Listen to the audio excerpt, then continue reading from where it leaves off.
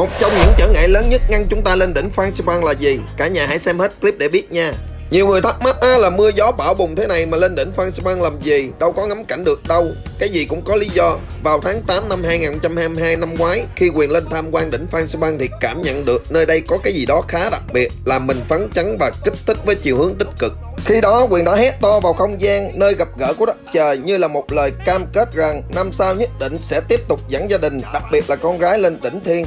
Và hôm nay tuy thời tiết có khắc nghiệt và mưa gió bão bùng, quyền đã thực hiện được lời cam kết của mình đó là dẫn gia đình và con gái lên nóc nhà Đông Dương. thực hiện lời hứa năm xưa Đưa con gái lên đỉnh Phan Phan Ok, yeah Thật sự để thực hiện việc này không phải dễ và một trong những trở ngại lớn nhất không chỉ ngăn cản bản thân quyền nói riêng và mọi người nói chung đó là tiền, là năng lượng. Làm thế nào để có tiền, có năng lượng để thực hiện cam kết này?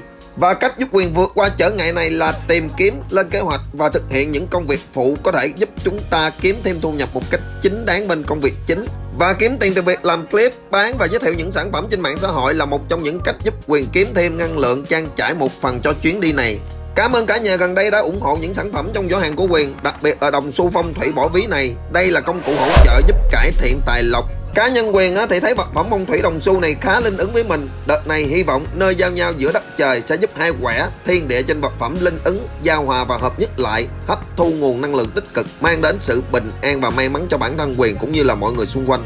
Cả nhà mình ai thấy vật phẩm phong thủy đồng xu bổ ví này phù hợp với mình thì hãy vào giỏ hàng rước em nó về nhé. Biết đâu nó giúp mình vượt qua những trở ngại về tài chính giống quyền thì sao.